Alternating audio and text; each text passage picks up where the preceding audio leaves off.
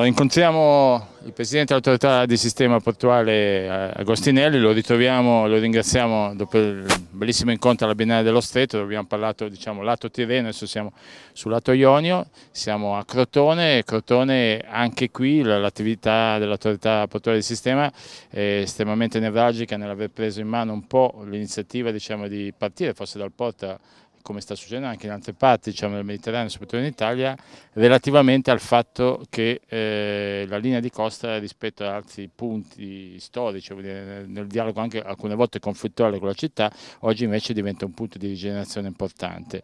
Quindi la prima domanda che vorrei fare al Presidente, per poi dialogare sia con la Sovrintendenza che con i due Presidenti nell'ordine di Siracusa, Sonia Di Giacomo e Francesco Livadotti di Crotone, che sono le due città che stavolta metteremo proprio a confronto, proprio per la peculiarità del rapporto con le linee d'acqua sulla costa ionica calabrese siciliana, ma Presidente ci racconti un po' la visione strategica che, che, sta mettendo in atto su Crotone, il progetto che da quanto abbiamo capito è in essere perché è stato appaltato e che eh, recentemente che porterà a, a, fare in modo che il porto cominci a poter essere un luogo di attraversamento urbano, un luogo che dialoga la città e che quindi automaticamente ovviamente conoscendo poi le sue capacità e l'esperienza sarà anche un motore di volano di, di crescita del porto stesso. Le passo il microfono. Sì, innanzitutto grazie per questa, per questa occasione perché bisogna sempre un po' eh, parlare anche di, di, un recupero culturale di, di, questa città, poi noi ne abbiamo tante, abbiamo anche Corigliano, Vibo Valencia, oltre a Gioia Tauro, ma, ma parliamo di, Crotone, eh, noi per avventura ereditiamo eh, la giurisdizione sul porto commerciale, ma anche sul porto vecchio che è sempre stata considerata poi un appendice minore. Eh, sappiamo l'attenzione che le amministrazioni municipali, la soprintendenza con l'architetto Argenti qui presente hanno sempre eh, dedicato al lungomare di Crotone che è un lungomare bellissimo e quindi c'è stata questa occasione di, di, una progettualità sul Porto Vecchio a cui noi molto teniamo, abbiamo cercato e ricercato la, la collaborazione, la sinergia con l'amministrazione municipale con la soprintendenza dell'architetto Argenti e credo che questo progetto ormai è in fase finale, abbiamo, abbiamo bandito il, la gara d'appalto e vediamo i risultati che avremo. Quale può essere il ruolo strategico? Lei citava giustamente Corigliano e tutte le altre linee di costa, sia sulla costa ionica ma anche il ruolo nel Mediterraneo del porto di Crotone che alla scala della, della, della città che comunque eh, indipendentemente anche da su, alcuni suoi punti di fragilità ha delle infrastrutture che potenzialmente la potrebbero ritornare, essere uno dei baricentri tra cui ovviamente la linea relativamente al porto. Quale può essere, almeno qual è la visione che voi immaginate in questo tratto di costa ma soprattutto non solo di questo per quello che è anche un po' il cambiamento delle varie attività che sono presenti un in tutta Italia, delle varie eh, autorità portuali di sistema. Guardi, allora parafrasando il vostro slogan, è il Mediterraneo visibile quello che ci interessa, noi dobbiamo, ora uso un, gergo, un, piccolo gergo tecnico, compilare un documento programmatico strategico di sistema in cui daremo a ogni porto del nostro sistema regionale portuale una funzione. La funzione di Crotone è salvaguardare i commerci del porto commerciale senz'altro, sviluppare la crocieristica perché noi abbiamo un traffico di navi da crociera in, in aumento e dobbiamo risolvere alcuni problemi che riguardano, ahimè, i fondali del porto commerciale e naturalmente sviluppare, se sarà possibile, una, una nautica da diporto di grande, di grande qualità perché la città di Crotone lo merita. Mi faccia anche aggiungere a una progettualità futura che sarà quella che riguarderà l'area ex Sensi, con le demolizioni del, degli ex manufatti che appartenevano a questa intrapresa commerciale e sarà l'ideale linea di confine e di prosecuzione fra il lungomare e il porto commerciale. Eh, ci penseremo dopo il Porto Vecchio, quello sarà il progetto principale della, della, della portualità crotonese, oltre alla ristrutturazione del molo foraneo e alla pedonalizzazione del molo foraneo. Ultima, prima domanda di questo giro di, di, dialogo, non posso non parlare di un aspetto che poi è stato anche l'incipit ieri sera avviato col sindaco, nella reazione a questo tema che noi proponiamo relativamente al tema delle, delle linee d'acqua come punto di ripartenza, di, di pensiero, di responsabilità nei confronti del territorio, oggi diciamo, tutto il sistema portuale mediterraneo si pone anche un tema legato, chiamiamolo aspetto ambientale, chiamiamolo tema sostenibilità, chiamiamolo dal punto di vista che forse eh, i porti stessi possono essere uno dei motori del cambiamento dal punto di vista dell'approccio sul territorio proprio perché sono stati elementi spesso dire, eh, che hanno, non si sono occupati di questo tema mentre oggi c'è una grande sensibilità. In merito a questo c'è anche un'attività o un pensiero legato a Crotone o gli elementi oggi in essere su Crotone non, non necessitano di particolare attenzione dal punto di vista ambientale? Ma guardi, ora mi, viene da pensare che nel prossimo piano operativo triennale dei nostri investimenti rientrano i nuovi sistemi antincendio e di illuminazione che naturalmente saranno tutti legati alla ecosostenibilità. Ci sono anche punti dei nei, diciamo così, o delle preoccupazioni? Certamente sì, perché noi siamo impegnati a trovare anche un una stazione di cold ironing, si chiama così la nuova sistema di elettrificazione delle banchine e questo dovrà riguardare anche eh, il porto commerciale di, di Crotone, specialmente l'approdo dedicato alle navi da crociera. Perfetto. Sovrintendente, è già stato detto dal Presidente, eh, cogliamo in maniera molto piacevole il fatto che ci sia un dialogo virtuoso tra i vari enti, l'abbiamo visto con l'amministrazione comunale, l'abbiamo visto stamattina il dialogo a Capocolonna e ci sembra anche da quello che ha appena detto il Presidente, come ci raccontava prima, su un progetto molto delicato come queste progetti che sono diciamo, su delle linee di, di, confine, tra virgolette, o perlomeno sono sempre state tra linee di confine tra città, infrastrutture, trasporti e il progetto che si sta mettendo in atto, anche da come lo raccontavi prima, è intanto un'operazione di dialogo estremamente virtuosa e piacevole, quindi questo vuol dire che si può anche fare cose belle piacevolmente, quindi è un elemento di grande eh, cambio di cultura. Ma allo stesso tempo un dialogo poi con la sovrintendenza vuol dire che c'è una doppia visione, no? cioè da un'infrastruttura importante, da una, una presidenza di un'autorità portuale del sistema che ha una visione strategica, ma anche chi invece, come si diceva stamattina, si deve prendere cura del territorio e custode in qualche maniera di quello che deve essere tramandato, è importante questo tipo di rapporto. Raccontaci anche tu com'è che si arriva a questo progetto, che è un progetto che mette insieme dal nostro punto di vista due grandi parole per noi fondamentali anche per la Biennale, che è la responsabilità di agire sul reale e la generosità, ovvero di immaginare che il progetto debba cominciare a, a ridare, no? il territorio deve cominciare a ridare a chi lo vive e chi lo attraversa proprio attraverso questi tipi di progetti. Grazie. Questo progetto relativo al Porto Vecchio è, è stata veramente un'esperienza un anche molto, molto, bella. Io devo ringraziare l'ammiraglio Agostinelli con, che con determinazione ha voluto concentrarsi su un progetto eh, che vuole restituire alla città eh, una parte fondamentale, una parte fondamentale che la ricollega a uno dei luoghi eh, più significativi, un cuore pulsante. La porta di accesso, io la vedo così, la vera porta di accesso di Crotone. Crotone è una città che vive ed è nata sul mare. E quindi eh, questo, questa decisione eh, restituirà, inizierà a restituire una parte fondamentale. E questo dialogo che eh, è stato fruttuoso per entrambi perché eh, il mio istituto spesso viene visto come eh, una, un, una, mera attività eh, dedicata ad autorizzazioni che spesso creano ostacoli e in qualche modo l'ammiraglio aveva qualche reticenza su, lo possiamo confessare, sul fatto che invece fossi determinata a tanto quanto lui a far realizzare quest'opera perché ho capito immediatamente quanto potesse essere importante e dirimente per Crotone però eh, il mio contributo è stato quello di veicolare indirizzi che potessero esaltarne alcuni aspetti, eh, che potessero eh, veicolare quelli che per noi che ci occupiamo di tutela e ci occupiamo di bellezza potessero essere veramente portati e realizzati. E quindi è nata questa sinergia con i progettisti, con, direttamente con l'ammiraglio con cui ci siamo confrontati più di una volta e abbiamo capito eh, che avevamo un obiettivo comune da punti di vista diversi ma che convergevano verso eh, eh, una visione che era quella di restituire un luogo alla sua città eh, esaltandone le potenzialità. E questo è un primo passo perché anche oggi ho detto che eh, la grande scommessa di quest'area è l'Aria Sensi. L'Aria Sensi costituirà eh, l'ACME cioè il, il punto di arrivo di un percorso avviato e che potrà veramente ehm, eh, avviare un, una, una, progettazione rivoluzionaria per la città. Io spero che sappia coglierne, sappia cogliere e che eh, l'input che è stato dato da, dal, dall'ammiraglio, che tutti quanti continuiamo a lavorare in modo sinergico perché se si arriva ad un risultato è perché c'è eh, capacità di dialogo, c'è eh, capacità di anteporre eh, un obiettivo che va al di là del, della mission del singolo istituto, che è quello di porre al primo piano eh, il territorio,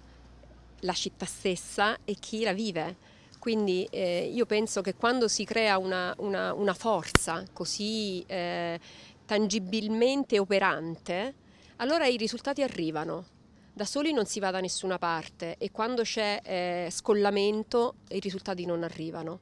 Ecco, questo è un momento, un momento, secondo me molto propizio. Io sono arrivata in una città in cui mi sono trovata un po' spaesata perché non, non riuscivo a capire certe dinamiche. Tu, stiamo lavorando tutti verso un, un, obiettivo comune e parlo degli enti che sono protagonisti sul territorio. Ci sono in ballo tantissime eh, progettualità, molti finanziamenti questo è una delle, delle, parti più importanti perché guarda verso la città. Il waterfront è, è, è la parte più connotante, è, è il luogo che connette alla città storica, alla città antica, alla città che si sta rigenerando, alla città che vuole che gli venga restituita la sua identità. Francesco e poi Sonia, diciamo che prima Francesco c'è una grande responsabilità all'ordine e agli architetti perché avere l'occasione di avere due figure così importanti che comunque l'ammiraglio lo conosciamo e abbiamo già visto la visione su un altro tema molto complesso, un territorio complesso come quello della Piana di Gioia Tauro e il Porto di Gioia Tauro. Quindi muovere un'istituzione che si muove attraverso visione, determinazione e coraggio anche perché va detto magari sono cose normali ma nel nostro paese poi agire vuol dire avere, avere coraggio dal punto di vista diciamo, di andare al di là di quello che potrebbe essere semplicemente l'applicazione no? di, di, alcuni obiettivi è un sovrintendente comunque che fin da stamattina io l'ascolto e continua a parlare da, tra virgolette, da progettista no? da chi eh, mette all'interno diciamo, del suo ruolo severo, chiaro come deve essere però apre la porta a un ragionamento di progetto Abbiamo visitato anche noi, o comunque attraversato velocemente l'area Sensi, l'area Sensi, ex Sensi come si vuole chiamare, ha questa grande sensibilità di essere a cavallo di due, due, porti, in qualche maniera, quello storico e quello nuovo. E a noi interessa anche molto questo attraverso due linee d'acqua, no? perché in qualche maniera evidenzia la fragilità di un elemento, come dire, eh, importanti come la linea di costa del mare che in qualche maniera è anche quello più evidente ma si interseca con un'altra linea che abbiamo visto che dire, ha tutta una serie di aspetti su cui dicevamo stamattina forse la grande rigenerazione di tutto il territorio riparte ridando valore e ridando coraggiosamente, forse anche va detto, bisognerebbe cominciare in questo paese ad avere il coraggio di demolire le cose brutte, eh? insomma non dico le cose belle, ma di dare spazio all'acqua. Allora, questa, avete una grande responsabilità, adesso è, è qui con Mediterranea la Biennale, siamo qui a supporto, visto che poi avremo tutti gli ordini diciamo, a, a, tavolo a discutere di questo. Quindi Francesco, qual è la tua visione in merito a queste due aperture importanti e quanto l'area Sensi possa diventare anche per l'ordine forse uno dei primi elementi di confronto a livello progettuale, no? corale? Sì, grazie Alfonso. Intanto eh, mi preme dire subito che eh, l'obiettivo eh, che ci eravamo posti all'inizio di questo viaggio, eh, lato Crotone eh, credo che sia stato ampiamente raggiunto. Eh, sono davvero curioso e, e desideroso di eh, proseguire questo viaggio verso Siracusa perché credo che adesso eh, dobbiamo metterci in ascolto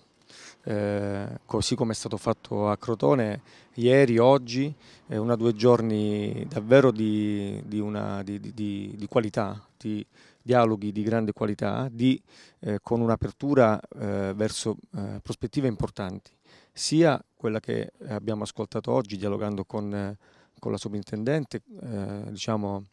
con la visione che bisogna avere sulla eh, sulla città, non come elemento episodico ma come nella sua interezza.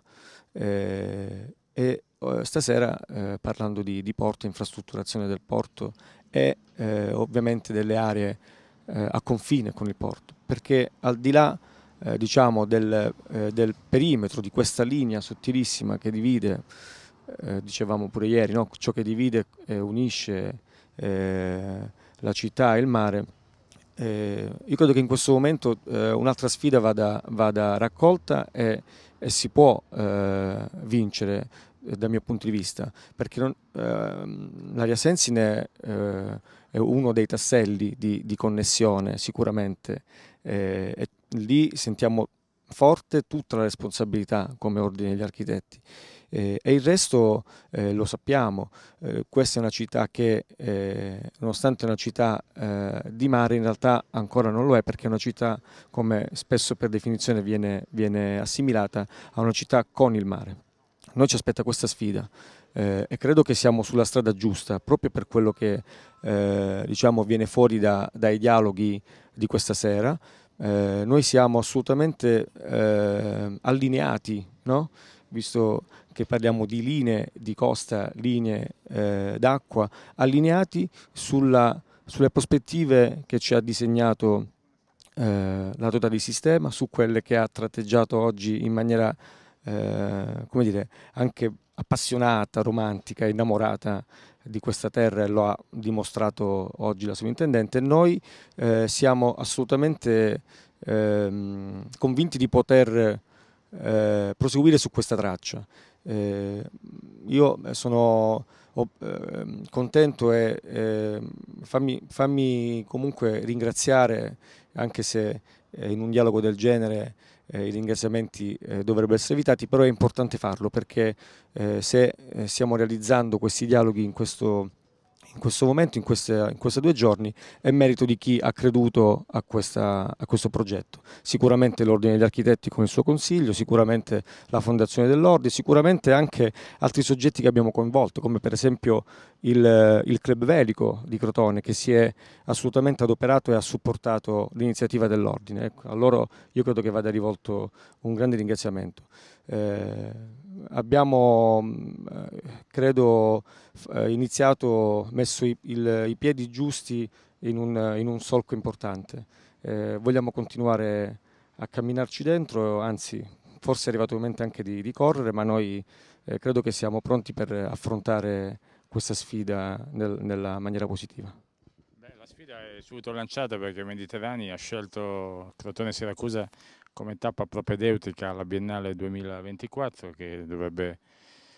eh, di nuovo svolgersi sullo stretto, quindi tra, tra, maggio e ottobre, quindi qui abbiamo anche dire, il Presidente dell'Ordine di Reggio, di Messina, che sono parte integrante diciamo, dello sviluppo della Biennale. E in questo viaggio domani passiamo il testimone a un altro territorio eh, che non a caso con Sonia si è scelto Augusta, che tutti conosciamo per tutti i valori, le complessità e per i temi che si porta dietro in qualche maniera molto simile a quelli di Crotone e ovviamente a Siracusa. Quindi domani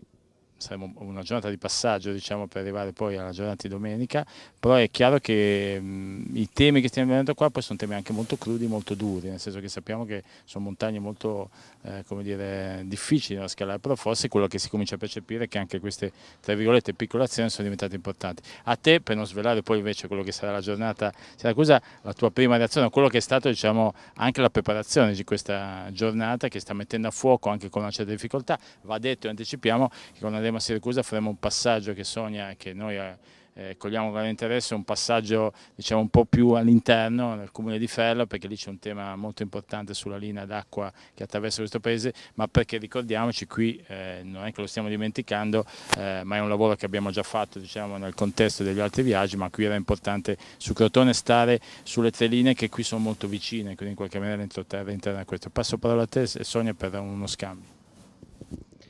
Allora, buonasera a tutti, io mm, sono emozionata eh, perché vorrei presentarvi al meglio il mio territorio, che è un territorio mm, eh, da un punto di vista naturalistico eh, unico, ma che nel corso dei secoli è stato purtroppo mortificato dagli eventi, ehm, il polo industriale piuttosto che l'abbandono delle aree umide. Ma ehm, Provocatoriamente la Biennale aveva spostato il punto, ribaltato no? il punto di osservazione da, no, da, sud verso nord e noi abbiamo spinto questo punto di vista ancora più a sud nel territorio della provincia di Siracusa che è mm, la zona più meridionale d'Italia. E provocatoriamente eh, la scelta di, eh, del punto di osservazione insomma, che andremo a percorrere, che andremo ehm, eh, insomma, a visitare eh, nella prima tappa di questo viaggio è appunto il Forte Vittoria, che è mh, mm, una fortificazione che, nasce, che, che viene costruita, edificata in uno dei due scogli affioranti all'interno del porto, perché ho, ho scelto, insomma, anche con l'autorità portuale che ci consentirà di stazionare in questo punto privilegiato perché avremo la possibilità per una volta di invertire il punto di vista e osservare la costa e il nostro territorio dal mare, dove appunto non siamo abituati a, eh, ad osservare e vedere purtroppo tutte le complessità di questo territorio No, vedere le, le, complessità, ma purtroppo perché? Perché queste complessità e queste emergenze non sono eh, state messe in relazione, quindi non c'è sinergia tra esse e, quindi eh, eh, l'attività che insomma, stiamo facendo eh, insieme al territorio di, alla provincia di Crotone è, ha una valenza che è quella di sollevare dei dialoghi, dei confronti che possano portare, speriamo, a delle proiezioni in una possibile eh, pianificazione futura dei nostri territori ma la valenza credo sia anche legata al fatto, una cosa che mi è piaciuta particolarmente, che siamo in, questi, in questo evento, in questa attività, stiamo, siamo riusciti a coinvolgere professionalità diverse e, ehm, non è semplice, eh, ma credo che la forza sia proprio questa. Eh, la, si parla oggi di ehm, interdisciplinarietà, no? di, di, multidisciplinarietà, ma credo che la interdisciplinarietà sia qualcosa di più importante, perché la capacità di mettere in relazione le conoscenze, i know-how per addivenire a una soluzione e quindi credo che se il principio di questa attività sia questo potremo riuscire ad ottenere dei risultati validi. Grazie Sonia, mi viene per chiudere questo talk che ovviamente ha temi tanti vorrei fare un'ultima domanda siamo all'ammiraglio che L'ammiraglio eh, lo dico anche perché fortunatamente noi ci stiamo occupando in diverse aree diciamo, del Mediterraneo sui porti, c'è oggi una coscienza, una, una, una, visione, lo dico a lei che si sta occupando di, di aree importanti, complesse, che in questi anni poi eh, diciamo, erano stati dormienti per dire che non, senza assumere poi responsabilità a ciò che è stato prima relativamente sia a Gioia Terra come quella di Crotone. C'è oggi forse dire, una um, visione che può passare l'idea che anche il paese no, possa avere una centralità nel Mediterraneo nel momento in cui proprio sulle linee di costa legate al rapporto con i porti si possa nascere una nuova dire, eh, visione del paese che non è semplicemente commerciale, no? nel senso che in una logica perlomeno europea dove bisogna lavorare sull'esistente, bisogna immaginare di non andare a occupare nuovi territori, di non consumare suolo, in realtà abbiamo ampie aree che sono quelle portuali che spesso sono o sottodimensionate o non sfruttate che comunque sono a ridosso della città. Una logica che prevede ovviamente quello che sta succedendo qua, un dialogo molto forte tra la città è il porto per valutare quali sono i punti di equilibrio, quello che avrebbe necessità il porto in una dimensione contemporanea che magari può non essere più sufficiente, che magari libera aree in altre situazioni. Vediamo quello che sta succedendo a Trieste, vediamo quello che sta succedendo in altre città, vediamo anche alcune cose tipo Livorno che magari è sbilanciato ma che comunque cambierà questo tipo di rapporti. C'è qualcosa che però va in una direzione forse ancora episodica, però sarebbe interessante, non so se passerà questa legge che poi cambierà di nuovo le autorità portuali del sistema o meno, non si sa, però vuol dire, io trovo che oggi paradossalmente si parli poco del fatto che i porti, in una visione molto unitaria del paese, potrebbero essere una chiave straordinaria per capire dove il paese potrebbe andare, perché hanno questa potrebbe avere questa capacità di sintesi di toccare tutti i temi, tutte le complessità, tutte le fragilità, tutte le frizioni, tocca tutti i punti. Allora questa presa di coscienza potrebbe essere interessante per immaginare che laddove bisogna intervenire necessariamente non sia solo un intervenire per fare, ma possa essere anche un intervenire con un pensiero nuovo che sia molto più ampio e che possa nascere ovviamente da, da esperienze già in essere. Non so la sua visione in merito. Lei, lei, mi fa una considerazione che mi occorrerebbe qualche ora, guardi. Eh, gli aggettivi a verde dica dritto come l'ammiraglio, punto. Il punto è che eh, mi piace molto partecipare a questi dialoghi con naturalmente esperti eh, molto, molto bravi del loro settore. Lei poi architetto ha usato delle parole bellissime, la farei ministro dei trasporti, guarda. Se mi, se, eh, perché, perché, vede, lei ha detto una, una cosa bellissima sull'importanza della portualità, noi stiamo cercando molto lentamente di dare un, un, segnale attraverso questo documento di sistema portuale per assegnare ad ogni porto calabrese una funzione dialogando con l'associazionismo, con... Eh,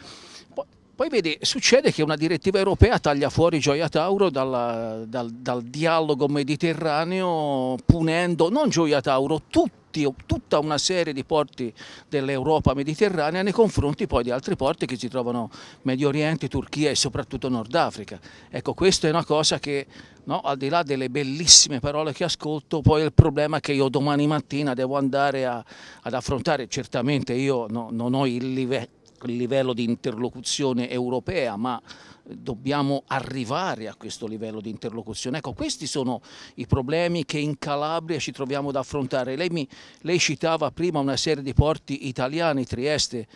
eh, la mia Livorno, io aggiungerei anche Genova. No, Beh, vi, vi, posso dire che Gioia Tauro sconta da sempre un gap eh, rispetto alla, alla politica nazionale che non premia le eccellenze che noi troviamo in Calabria, perché abbiamo un porto sicuramente straordinario che potrebbe essere l'unico porto italiano, sto dicendo un paradosso, ma Gioia Tauro potrebbe essere l'unico porto italiano e gli altri porti che noi potremmo servire. Mi spiego, invece ci troviamo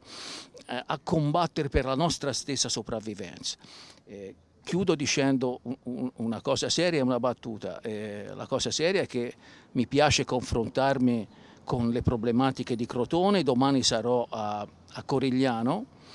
e, e, e, a Vibo Valencia Marina. Noi abbiamo la possibilità di cambiare qualcosa, noi abbiamo la possibilità di cambiare qualcosa solo a una condizione, una sinergia con le amministrazioni municipali, con le soprintendenze, con gli altri enti che hanno competenza in materia, perché noi dobbiamo eh, lavorare per, per, il cittadino crotonese, per il cittadino vibonese, per il, per il cittadino coriglianese, eh, offrendo in certe situazioni un porto a favore della cittadinanza. Poi Gioia Tauro sta in una enclave, noi sappiamo qual è la destinazione funzionale di Gioia Tauro, ma ci piace esercitarci in questo esercizio in porti come Crotone e, e vi ringrazio per, per questa occasione. La battuta è questa, che eh, stavo parlando e, e stavo dicendo che eh, parlo con dei professionisti di elevatissime capacità, io mi sento un po' un pesce fuor d'acqua in queste in questa situazione, però siccome mia figlia si è laureata in architettura e sta lavorando in Danimarca, ecco, vabbè, gli racconterò di questo episodio e mi sento un pochino più a mio agio, grazie. Grazie Miraglio, lei ha toccato il tema in realtà che, che volevo sollevare, è chiaro che la politica, quando parlavo di, di fare sistema a livello nazionale, la politica deve scontare il fatto che Tanger Med ha chiaramente spostato i, i, gli equilibri no? nel Mediterraneo, c'è una politica di un certo tipo, è chiaro che la direttiva europea che eh, penalizza Gioia Tauro è figlia anche di una politica italiana che non vede Gioia Tauro, come hai detto prima, nel sistema vero complessivo. No? quindi... Lei, lei, veramente, non ministro dei trasporti, commissario dei trasporti a livello europeo bisognerebbe nominarla. Tangermed rispetto a noi aveva un grande vantaggio, eh, il costo del lavoro. Ora rischia di avere anche il vantaggio della logistica e del costo del trasporto e sarà impossibile per noi competere con i porti come Tangermed. Sono d'accordo, per quello bisogna fare sistema. Chiudiamo la battuta del sovrintendente, molto veloce perché eh, dobbiamo passare all'altro talk. L'ammiraglio ha detto molto bene diciamo, che l'importanza, anzi il suo desiderato e quello che sta facendo sul territorio è questa sinergia operativa e culturale, quindi poi come sappiamo tutti è un uomo concreto e quindi come stiamo apprezzando anche la sua concretezza, quindi è una palla anche importante per la sua intendenza che sappiamo che ha mille difficoltà in termini generali, però questo cambio di approccio del dialogo può essere anche un punto virtuoso, nel senso che questa condizione, un po' come dicevano noi, di essere un po' ai confini dell'impero, è anche quella condizione che oggi permette di essere molto agili se si vuole, perché io penso che noi pensiamo che in questi contesti la differenza fa veramente la volontà e la determinazione. In altri contesti non è più sufficiente paradossalmente perché ormai la complessità ha raggiunto una, una, una modalità talmente dire, non virtuosa che rischia di fagocitare anche quell'aspetto. Mentre qui paradossalmente il, il, fattore della persona, il fattore di voler dialogare, il fattore di voler veramente fare qualcosa del territorio può essere significativo. Quindi questo dialogo è estremamente importante, quindi ti lascio chiudere la serata con una parola positiva, con una frase, una battuta, non so, la figlia in, in Danimarca si, si, esercita molto bene, diciamo, perché lì è una sintesi di infrastrutture, territorio, paesaggio e architettura. E quindi a te.